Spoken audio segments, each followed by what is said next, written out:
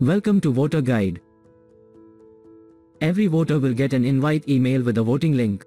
Check your spam and other folders if you don't get the invite. You can also search for contact at right2vote.in. You can also log in with this link. On clicking on the voting link, the voter would be taken to the login page. Here email ID would be auto-filled in. Press get OTP. Voters will get OTP on email. He needs to enter OTP and sign in. Do not try to log in with mobile number or some other email ID.